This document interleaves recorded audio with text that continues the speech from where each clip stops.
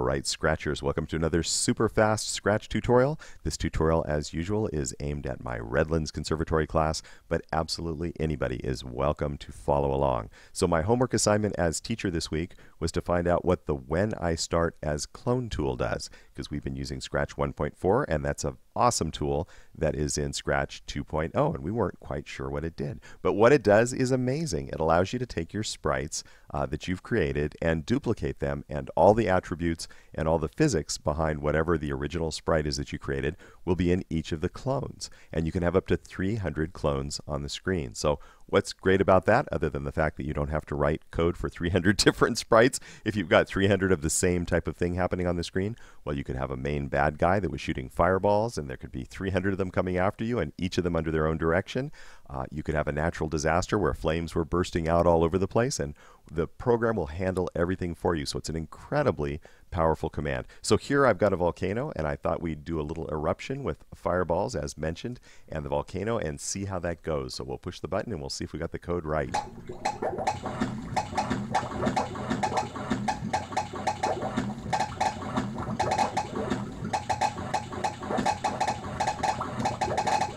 So that is really pretty awesome as somebody that's an old time programmer and didn't have such a convenient command. But as you saw, we had fireballs that were moving in all the axes, X, Y, and Z. So full three dimensional uh, fireball shooting right at our camera position and away from us as well. So let's take a look inside and see what we've got going on as far as code. So let's take uh, our sprite cat and we'll delete him and we will go ahead and assemble this.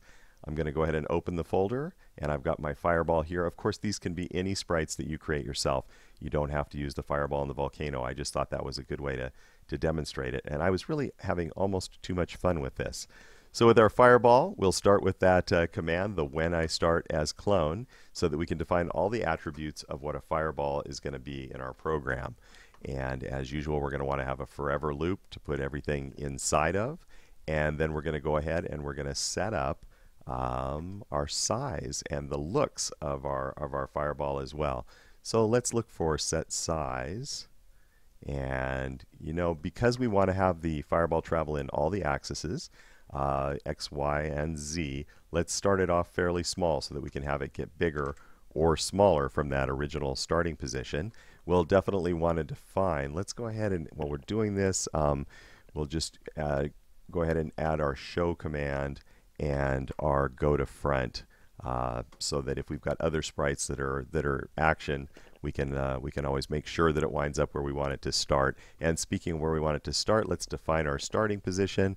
So we'll do a go to command and it might be a good idea. Let's see. I know from experience that uh, my volcano happens to be about negative 6 and 97. We'll build this as fast as we can here, but I thought I'd go ahead and build it a step at a time for you.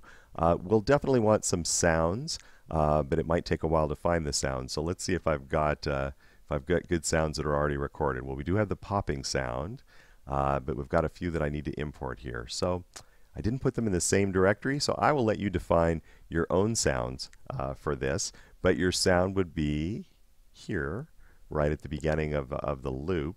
And then we're actually going to need to have some variables in, in this particular case. You can use the engine that we're building for our volcano here for your main bad guy. You can have it for a whole variety of different uh, uh, physics that you might want to do. So let's think about it for one second here, and we're going to need a few different uh, uh, variables. So let's make a variable, and we'll want our velocity to change because when our fireballs fall, we want gravity to seem to affect them. So they should start off slow, gravity should capture them, and then they should speed up on the way down. So let's go ahead and we'll make a, uh, a velocity variable. And, um, you know, probably we would want to limit these as well uh, just to this particular sprite. Um, in this case, because we only have one sprite that we're going to be cloning, it doesn't matter, but I wouldn't make those uh, global as far as variables go normally. So the next thing we're going to need, we're going to have to have our x, y, and z directions. So let's go ahead and we'll make a variable called uh, z direction. And while we're at it, we'll make a variable called y direction.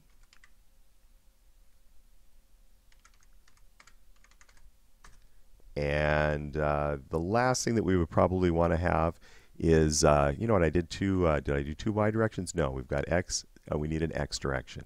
So let's make a variable called x direction. Okay, so we've got our x, y, and our z directions. And then because we don't want the uh, fireballs to always fly the same distance, we want to have a random distance as well. So let's go ahead and make one last variable, and this is going to do it, and we'll just call that distance. That should be uh, easy to remember. Okay, so we're going to want to set each of those, and we're probably going to want to set each of those to a, a random value. So let's go ahead and we'll bring out our, our set distance, and we will alter these in just a moment. So let's go ahead and we'll say, uh, we'll make the first one set velocity. We can make the next one set our z direction. The next one could be set our x direction. And the next one could be set our distance. So we can just leave it as it is.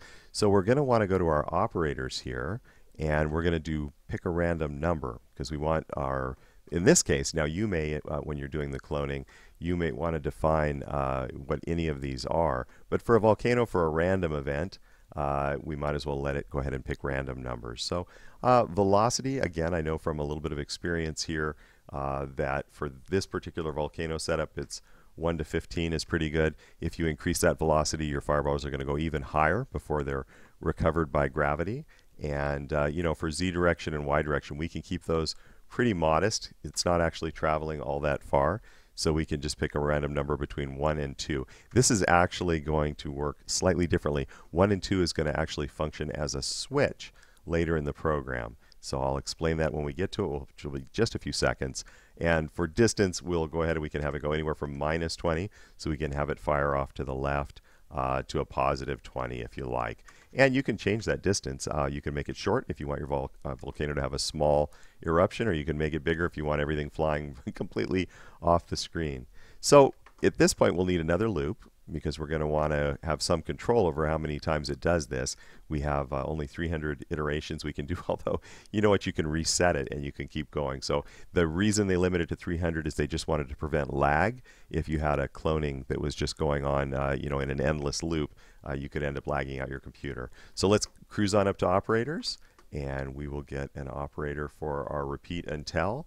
And what we'll do is we'll have it go ahead and repeat this loop from the time our fireball leaves the volcano until the time that it reaches the position of the water. So the water is going to be at this lower edge, which as we know is 180. So we'll make it 179 is where we'll have it stop doing the loop. And that will just mean continue to uh, work the physics on the fireball until it hits the water and then you're all done. The fireball can disappear. And of course, the fireball's position is going to be the Y position, the up and down position. So we will say go ahead and repeat doing this until the y position is the same as the water position so that that's going to fall. So at this point we're going to want to change y by velocity so that as velocity changes our y position will begin to change. So let's grab our velocity variable and we will put that out here, change y by velocity. Uh, we're going to change velocity then, of course. Um, and I guess probably what's the easiest way to do this? Change velocity. Let's do it this way. Yes, change our velocity. Aha, it's taken off running on us here. change velocity. I wonder what I, oh, I clicked something and I started it up there. So we'll change velocity by maybe minus one. So each time we go through the loop, uh, velocity is going to become less and less. So as our fireball streaks up away from our volcano, uh, velocity, gravity will act on it, velocity will become uh, one less and one less. Now to make our fireball look kind of cool as it's falling, why don't we go ahead and we'll have it spin a little bit so we could have it turn each time it goes through this uh, this loop again. We could have it turn by 15 or, or more degrees. Uh, 15 would be a slow rotation. Let's let's speed our fireball up a little bit. Now here is where we get into the use of these switches that we made this random pick of one or two. And the reason to have these random uh, switches is because we may want to have our z direction, we may want to have our, our object going backward, or we may want to have our object going forward. So by defining that randomly, by having it pick a one or a two, makes it uh, super easy to, to do this. Now, you know what I think I'm going to do? I think because I assembling this a single step at a time uh, might take uh, quite a while in the video. Let me go ahead and I'll move a few things over and I will pause the video and I'll come back and I'll let you know uh, exactly what we've added and we can move through it a little more quickly than me building these out of the stacks because I don't want to spend too much of your time building this device but I want you to get it step at a time how to do it. So hang on, we're going to pause the video and I'll bring a few objects over. Okay, so here we are with the whole program loaded. As you can see, it's not all that much longer, but I just thought we'd save a couple of minutes. Uh, and proceeding on down the line, after we have our uh, object rotate there, uh, we'll go ahead and we'll change x by the distance. So our distance is anywhere from negative 20, in this case, to 12. This will specify how far it will possibly fly to the left or to the right. And then we get into that direction, which direction uh, do we want z to go? And that's determined randomly here, whether it picks uh, a z direction of 1 or a z direction of 2. And now that I look at it, I remember that this particular x direction variable is actually unnecessary in this iteration of the program. So you really didn't need to do that. You can get rid of that x direction if you'd like because we took care of that here by saying change x by distance and having it select a random distance uh, between negative 20 and 12.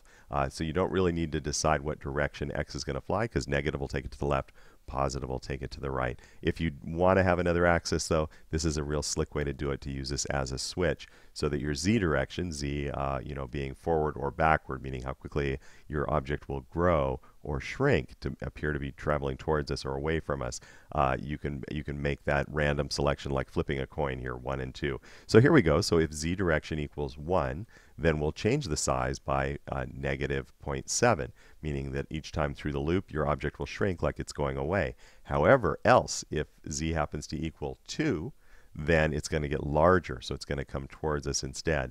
And then outside of our repeat loop here, we'll play that little sound, the plunge sound, which is in the Scratch built-in sound effects, which sounds like something plunging into the water.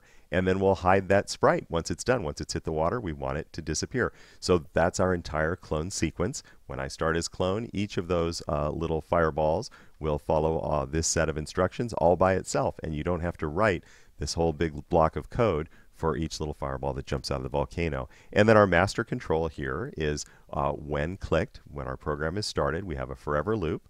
Tells it to uh, hide our sprite there and then pick a, a, random number to wait because we don't want to have them generated instantly or you'll have 300 fireballs unless you'd like to do that all shooting out of here at the same virtually the same time so we'll have it pick and randomly wait between a tenth of a second and three seconds and that way we'll get a real uneven firing of those uh, and create a clone of fireball and when we do the create a clone that's where it jumps over to when I start as clone and defines your fireball that is now being launched by all of this. And just for the heck of it, we wanted some background sound, and that's all this do. When clicked, forever, let's go ahead and play the sound of bubbles broiling, which is the sound of our volcano. Uh, the volcano itself actually doesn't need any code. I used a sprite. Uh, you could use a stage backdrop if you like, but I used a sprite so that technically we could move this around, and then by altering this uh, go to X and Y position, uh, we could have the firing. Uh, so if this were a moving boss or a moving character, we could have the point that it's firing from remain the same in all conditions. So actually a super simple program that you can copy over. You don't need that X command. I just uh, put it up there from an earlier uh, idea that I had. Uh, and you can have a main boss with tons of fireballs shooting out, uh, volcano, uh, very dramatic. I'll kick the sound on there, and I will see you all in class next week.